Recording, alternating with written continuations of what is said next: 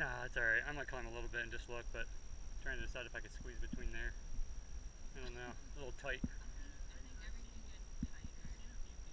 Did you? Yeah.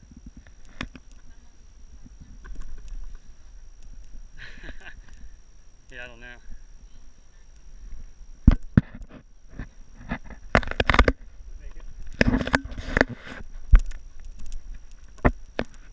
Think I to eat that extra pancake today?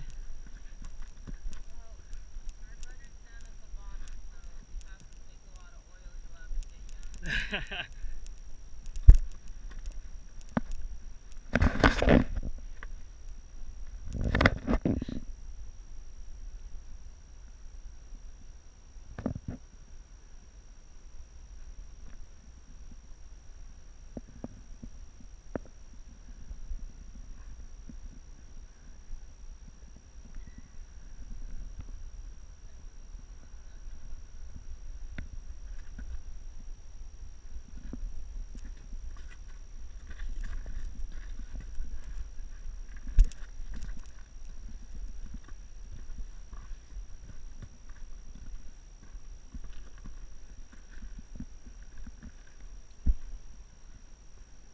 guys have a good day.